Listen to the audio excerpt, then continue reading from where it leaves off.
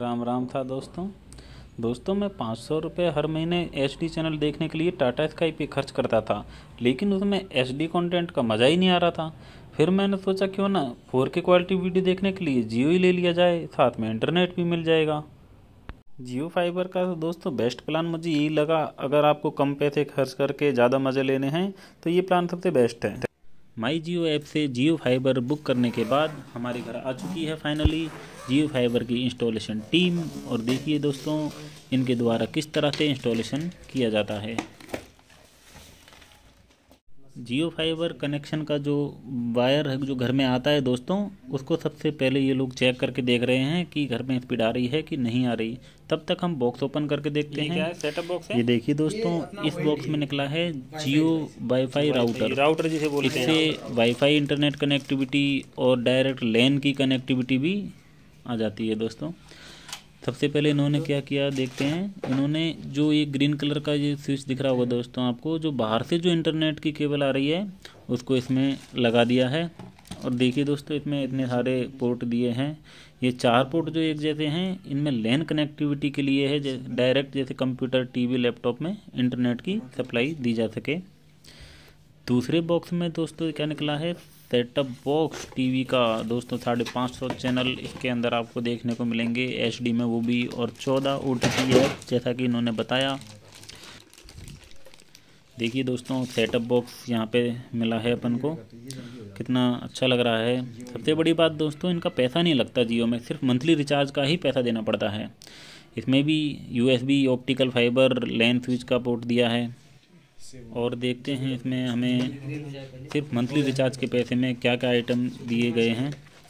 इसके साथ दोस्तों आई केबल टीवी रिमोट और एक इसमें क्या है ये एडेप्टर दोस्तों पावर सप्लाई के लिए सेटअप बॉक्स की पावर सप्लाई के लिए अलग से दिया है।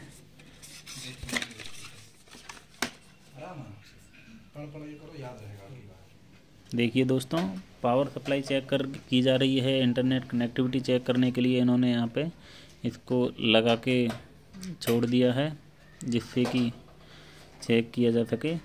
अभी रेड लाइट आ रही है मतलब कि नेट अभी आया नहीं है। देखिए दोस्तों, इसकी भी पावर सप्लाई आपको अलग से देनी पड़ती है। इसका भी एक अलग से एडेप्टर है, जो वाईफाई राउटर है, और टीवी सेटअप बॉक्स का भी अलग से इसमें दिया हुआ है।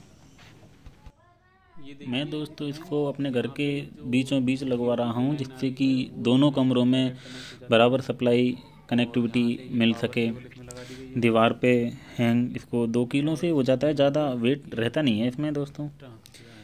इसको लगाने के बाद अब चलिए देखते हैं टीवी में इसकी टीवी में हम इसकी अब कनेक्टिविटी कर देते हैं दोस्तों। ये पावर केबल लगा दी पावर एडेप्टर थे और ये एच केबल हमने इसमें लगा दी है दोस्तों। दोस्तों 4K वीडियो देखने का मज़ा इंटरनेट के साथ ही है, बाकी डीटीएस वगैरह में इतनी क्लियरिटी आती नहीं है दोस्तों। अब ये इसको ऑन करते हैं। क्लियरिटी भी आप देखना दोस्तों, कितनी बेहतरीन इसमें दिखाई देगी। तब तक आप हमारे चैनल को लाइक और सब्सक्राइब कर दीजिए दोस्तों। इसमें हम इसको ऑन करते हैं। ये देखिए दोस्तों ग्रीन लाइट आ चुकी है और टीवी पर कुछ इस तरह से आपको ये दिखाई देगा। इसमें दोस्तों चैनल तो ऐप के अंदर ही जाकर ओपन करने पड़ते हैं, लेकिन आसानी से इसको किया जा सकता है। टीवी के रिमोट में वॉइस कंट्रोल का जो बटन है, उससे हम देखिए दोस्तों, आइए चैनल इसमें अब सर्च करते हैं। ये बीच वाला बटन दबा के हम इसमें बोल देंगे अब कि कलर्थ टीवी चैनल कलर्स के परिणाम यह है। देखिए दोस्तों इसमें कलर चैनल आ गए हैं। जितने भी colour H D non H D है और का, काफ़ी सारे लैंग्वेज के हैं। लेकिन हमको देखना है कलर एच डी अपना हिंदी में। तो हम इसको दोबारा से ये माइक वाला बटन इसमें प्रेस करते हैं और बोलते हैं कलर्स एच डी खोला जा रहा है। देखिए दोस्तों ये कलर एच डी चैनल इसमें हम अब देख पा रहे हैं। ये देखिए दोस्तों, ये कलर है एच डी चैनल। सिंपली एक बार बोलने पे ही इसमें आ चुका है।